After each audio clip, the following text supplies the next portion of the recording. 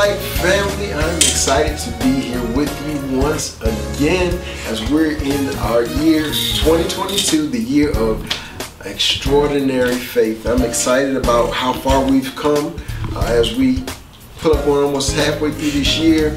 It's been absolutely a blessing for me. Just the things that have happened, how God has helped my faith to grow in this year. And so, Bishop, I thank you for your ear. I thank you for being attentive to the word and the message uh, of the Lord over us on this year.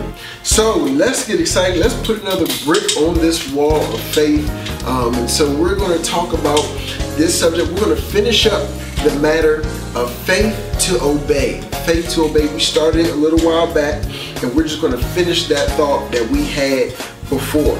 All right, so we're going to go to the book of First Kings, chapter number 17. All right, First Kings 17. I want to give a short review, uh, and that word absolutely excited me. So I'm going to try not to spend too much time in the review, but I will try my best to uh, to stay on track. All right. So let's go there. First Kings, chapter number 17, verse number one. We're going to go down to we'll go down to verse number nine. All right. All right. So Elijah the Tishbite, who was of the inhabitants of Gilead, said unto Ahab, As the Lord God of Israel liveth, before whom I stand, there shall not be dew nor rain these years, but according to my word. So you guys remember we talked about last time about the word of God kind of being like a forecast, right? And we talked about the weatherman of the day, right? So Elijah represents that weatherman of the day. But we have one of this day in our Bishop McClary releasing word over us for sometimes the climate in our lives, giving us warning and telling us what's ahead. And so that's what this represents for us. No rain in the in the land until his word comes. All right, and the word of the Lord came unto him saying, Elijah, get thee hence and turn thee eastward and hide thyself by the brook Cherith that is before Jordan. All right. And it shall be that thou shalt drink of the brook, and I have commanded the ravens to feed thee there. So he went and did according to the word of the Lord, for he went and dwelt by the brook Cherith, that is before Jordan. And the ravens brought him bread and flesh in the morning, and bread excuse me, and flesh in the evening, and he drank of the brook. And it came to pass after a while that the brook dried up because there had been no rain in the land. So we're going to stop right there. We'll pick up the last few verses later, but this is how much we got through last time. But, and I'm going to go through the process, right? We're talking about the process, and we only got through a piece of that process. So we're just going to walk back the pieces and the parts of that process, and it will all make sense. All right, we talked about number one. Number one was position. We talked about how important position is, right? We talked about the, the posture and the proximity, right? If if you are if you're speaking to me and I'm looking around and I'm not engaged and I'm looking other places, that would be indicative that I'm not uh, I don't have a posture that's paying attention to what you're saying, okay? Position also, right? If I'm positioning myself with my back to you, I'm communicating that I have no interest in what is that you have to share, right? So we talked about the process starting off with our position, our posture, posture, too many P's. All right, posture and proximity. Proximity is literally the distance, right? We talk about us being in a backslidden state, right? We get further and further away from God. How can we expect? The Bible even says, how can two walk together except they agree, right? That together is the operative word, right? I got to be close to God. There's a closeness in this walk, in this relationship with him. All right. So proximity plays a part in this too. Next, we said listening, right? The next, the next verse said, and the word of the Lord came, right? That word of the Lord came, and later on we cheat, right? Because we get to see that he goes and he performs the things that God asked him to, but he had to be listening in order to perform right? So very, very simple, but very, very important because many times when a word comes, right, it goes over our head. We don't have any level of retaining the word sometimes when it comes, right? And so next we talked about, number three was the instructions, right? He gives him the instructions to go down and he will be fed by the ravens down there at Cherith, right? So the instructions, paying attention to the instructions. Many of us, we have a hard time because when God's instructions comes, we don't understand them. They don't make sense to us. Right? And so if we have an issue, if it's not what we thought it's going to be, we disconnect from God. And many of us run from the call. God has been calling us to do things for years, and we spend years and decades running away from it, intentionally distracted. We said that intentionally distracted, like Job, from doing what he's called you to do. Here is a revelation that even though you spent time, you went and got on that boat, almost sunk, you still had to go back and do what God originally called you to do because He won't stop pushing. He won't stop coming. He won't stop uh, giving you His word because there is a purpose uh, in you doing what He's called you to do. So many of us get stuck right there at the instructions because we ran from what God's called us to do. All right? Next, next we said this there's a promise. We talked about that those children, right? We talked about how you have those children. Some of them, they you can just say, go clean your room. One runs, go does it, does a great job. The other, sometimes you got to bribe them. Sometimes you got to give them a token. You got to give them a trinket. You got to promise some things to them in order for them to do. And we ask the question rhetorically, what child am I? Does God have to bribe me with trinkets, toys, and all the like for me to do what he wants me to do? Or is my heart solely based on pleasing him? And whatever he wants me to do, that will I do. That's tough.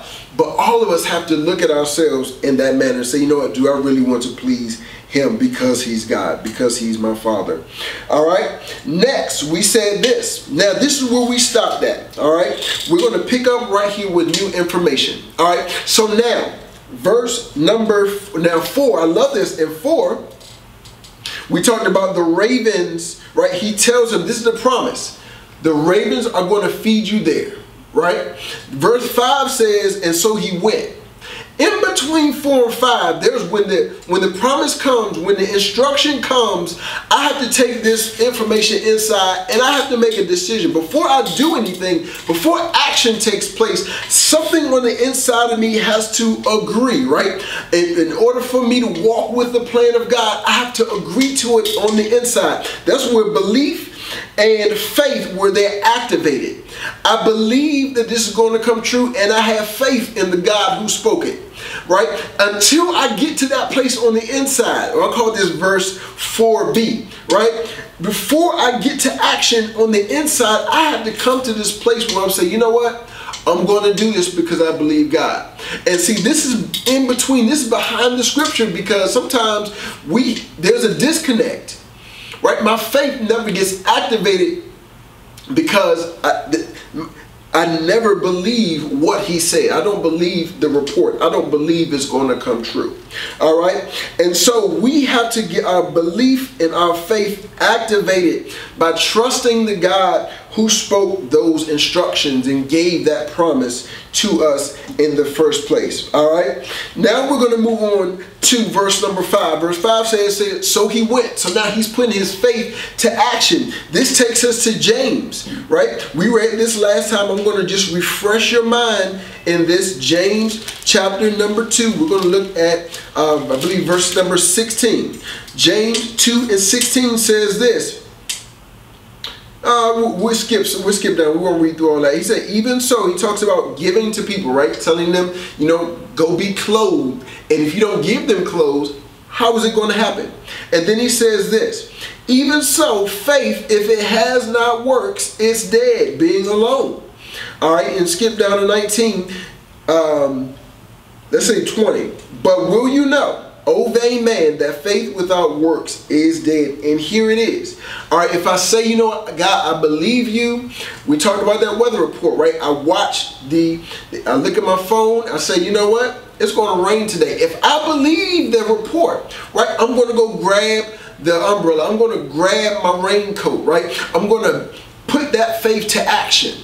All right. And so here is how our extraordinary faith begins is when I just do when the instruction comes, let me just go get. Because there's going to be some things, and if we're going to that, let get ahead of myself. But there's going to be some things that happen as a result of us trusting that word. All right? Faith without works being dead. All right? We're talking about this here faith to obey. Do I have faith to put this thing to action?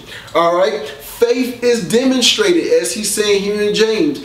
Faith is demonstrated. I have to do something here to show that my faith is real. All right? Now, it's just like a quick example. It's just like if I go in, I interview for a job, they tell me, you know what, you got the job, you can start tomorrow, right? If I believe that I got hired for the job today, right, and it starts tomorrow, shouldn't I show up? Shouldn't I show up and participate? And many of us, we say that we have faith, but when it's time to show up, sometimes we find ourselves absent. And right, and if I don't show up, I won't get paid. And here's a, here's a here's the part about it. We're expecting the provision, we're expecting payment right, for a job that we don't show up for, right? The faith says, I'm going to show up, and then when you show up and you work and you're faithful, then you get paid. And many of us find ourselves like, why God, you didn't open this door? Why didn't this happen for me? Why didn't you bless me here? Because many of us, God is waiting for us to show up. All right, some of us, we're waiting on God, and God's looking back at us like, look, I've been waiting for you to show up for years now. All right, so let's show up. All right, let's show up. Now, I kind of gave a little hint to where we're going next. The next piece of the process, all right? We talked about we talked about uh, belief and our faith being activated today. All right, we talked about putting it to action. Faith being an action word. All right, action. The next one is provision. I love this thing. All right, provision, and many times it does not look like what we think it will look like. Here is my main man, Elijah, right? Who would have scripted that? All right, I'm going to send the ravens down there to feed you. Nothing like you thought it would be, right? You would think the man of God would go down there and there would just be some kind of this table you know, just with food just there waiting for him. Whatever your imagination, nobody ever thought of ravens coming and feeding him. All right. And so I love this thing. Look, this thing got me so excited. All right, as I read this thing. If you study out the word cherith, all right, if you study out that word, man, look, the word back in that time in the Hebrew is the word nakal. It's the word nakal. And when you translate that, it means inheritance. Oh my God, inheritance. Catch this thing. So look, I I'm going to cause a famine for everybody in this place where you are, but I'm going to move you to a new place, all right, that is your inheritance. Come on, this is good. Now, catch this, catch this, catch this, catch this, especially we talk about running from the call. Never run from your inheritance, right? That don't even make sense in the natural. If your parent, right, passes away and that parent is wealthy, that parent has liquid assets, right? When the, when it's time for them to read the inheritance, most people, that's the first place they're going to be I want to be in line. I'm ready for everything, God, that's owed to me, right? Like, like the son, like the prodigal son. Look, he even showed up so early. He said, "Look, I want my inheritance while you're alive." Right? so, look, you don't run from your inheritance right? And so many of us, we find ourselves, the instructions come to a place that's foreign to us, right? But God is saying, look, this place is going to be uncomfortable. It's not going to be what you think it is, but this is your inheritance. Look, go there. If, look, go down there. You're going to be provided for. You're going to be protected, and you're going to receive your inheritance there. My God, that is exciting to me. All right. But here, catch this thing about your inheritance. Ah, look, inheritance is only got your name on it. All right, your inheritance only has your name on it. In other words, there's nobody else going to be walking around with that. There's nobody else. Come on, because we we get in a place we're trying to follow other people. We want to copy what this person did, and I want to do what they did. Look, there is a new thing. There is a unique thing. There is an inheritance just for you that doesn't look like what anybody else on the planet has ever done. All right. And so that place is going to be scary because it's a one-on-one. All right, it's a one-on-one. It's unique. It's never been done before. All right, he'll give you freshness and newness of all the millions and billions of people of the planet. He'll give you something new, something that's never been done before. That is absolutely exciting. That thing got me excited because many of us were running. We're running. Well, look, I don't know if I can do this thing. Look, calling me to sing, calling me to preach, calling me to write a book, whatever it is, you know what that thing is. You know what that place he's calling you to. He has provision already set there for you. He had, and here's the faith, right? He already has provision. Look, my main man, Peter, he said, look, bid me to walk on the water. Look, I've already said it so that you can walk on the water. I've already, I've already made a way for you. All right. If I'm to have you walk on dry land in the middle of the sea, look, I am going to move the waters back just for you. Something unique, something that was never done before. Look, so you have to run to that place that you've been accustomed to running from. Because guess what? Just like my main man, you still got, to, I'm sorry, I said Job earlier, I meant to say Jonah. Just like Jonah, you still have to come back and perform that thing. All right? Ah, that thing is so good. All right? When your heavenly Father leaves provision for you and over your life, he will send ravens. He will send whatever it is to make sure that you have been provided for. To make sure you have what you need to get through. All right, he will make sure. He will open up the doors. He will look. catch this thing. Look, this thing is amazing because ravens, ravens are a cunning bird. They're actually one of the smartest birds that we know of. All right. Another thing about ravens, ravens are very opportunistic feeders. All right, very opportunistic. They're loners. They don't. You don't see a pack of ravens just flying around. Catch this thing. That he's going to use a lonely, selfish, opportunistic, right? bird to take care of the man of God. All right. So in the same instance for you, God's going to use people that hate you, people that will despise you, people that will take your blessing that will normally take what is yours for themselves, right? A backbiter, he'll take people that are do you dirty in the street. He'll take your enemy, like, like the Bible says, in the presence of my enemies, right? He will cause those people to set that table for you. Look, and that's the blessing about that, that verse, right? Like that table can be prepared, but another part of it, God can cause that enemy to set the table for you. My God, that thing is good. He calls a raven, a loner, someone who's not used to sharing, one who's not used to taking care of anybody else. He will use a raven to provide for you. That is good. That is absolutely good. My God, that thing blessed me. By any means or any persons necessary, God will provide. Now, I love this thing that we're going to do. We talked about provision, right?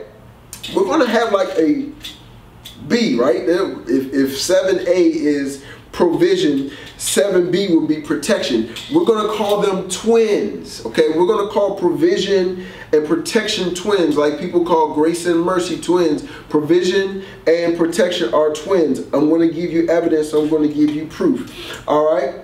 Catch this thing. All right? Catch this. You cannot have provision without having protection. What I mean? All right, let me give you some examples to show it being true. All right, if I provide my child with shoes, I've protected them from being barefoot. It's a package. If I provide my child with toys, I I am protecting them from boredom. If I am purchasing a house, it's protecting me from the elements. It's protecting me from weather, right? It, like in the case of my main man Elijah here, if he is provided food, it is protecting him from being hungry. All right, so they are not they're twins. So when God provides, He protects. Also, you don't have to pray for both of them. They are a package deal. Isn't God good? All right. Absolutely good. All right. God wants to provide for you through faith. All right, we must do our part. We got to trust this process. We got to walk out this process and have faith to obey when the instructions come. All right, now catch this thing. I love this. Now, our final point, we listed all of them. All right, we're going to go back through them really, really quickly. All right, just to have them all right here in one package. All right, first was position with posture and proximity. I'm not going to do all them P's together again. all right, next was listening, right? Next was the instructions. All right, next part of the process was the promise. The next one that we talked about was belief and faith activated. Next, we talked about action. Then we talked about provision. 7A was provision, 7B, protection. And the last one, the last one is very simple, is repeat. All right, repeat. Now, catch this thing. All right, verse number 8. Now, 7.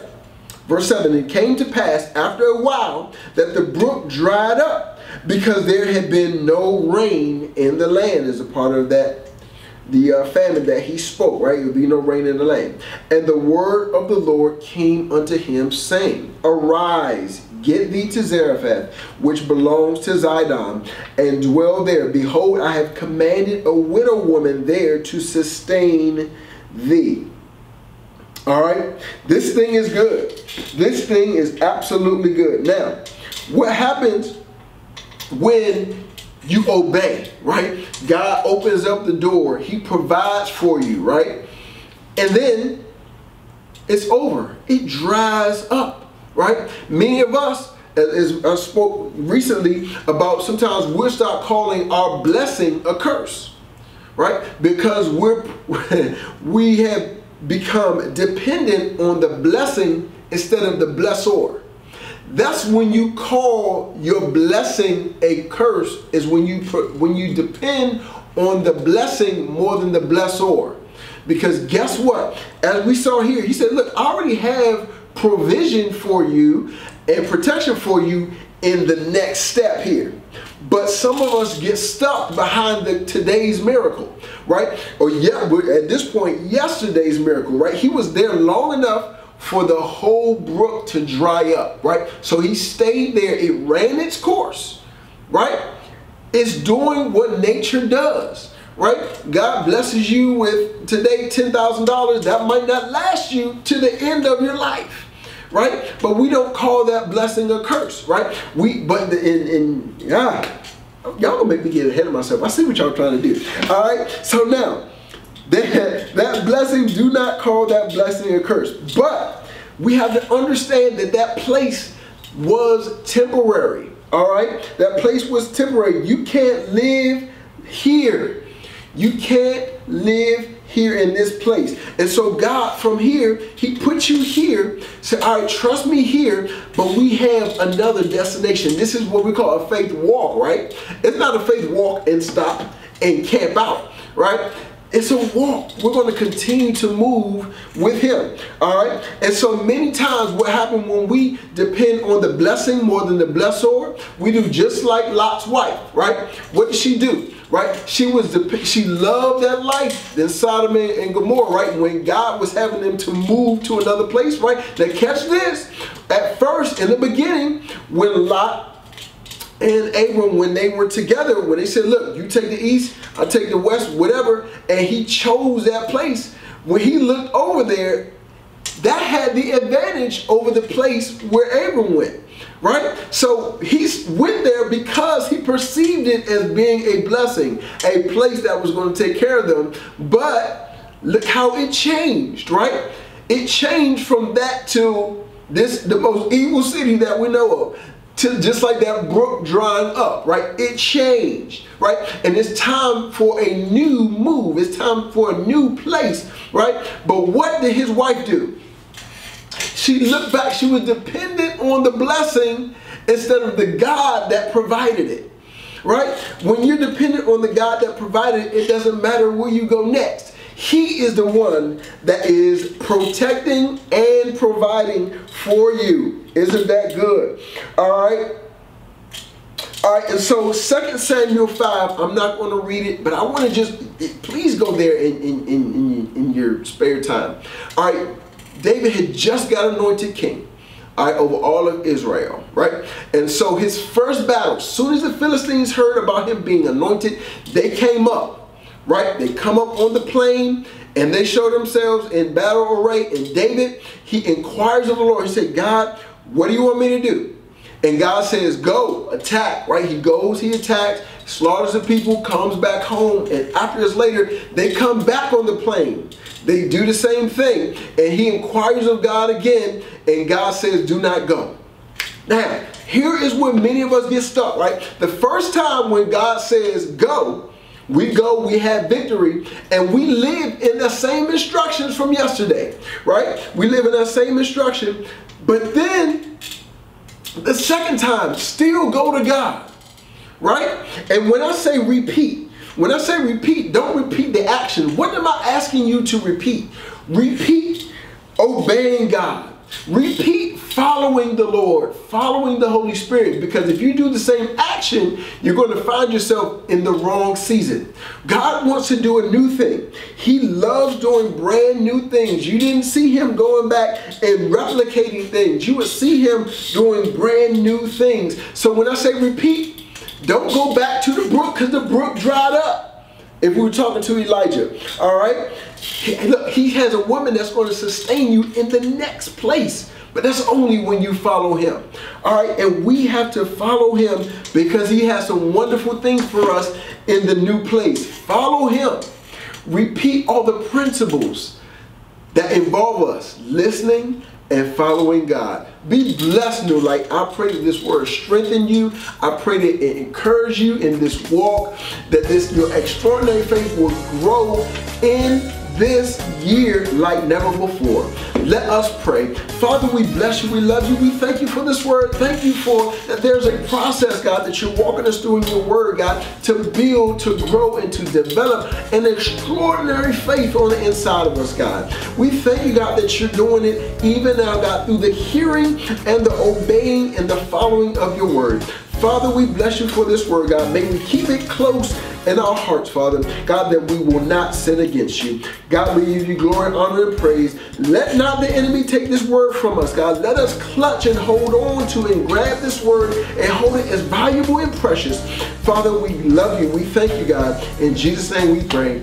Amen. Goodbye, New Light family. We'll see you next time.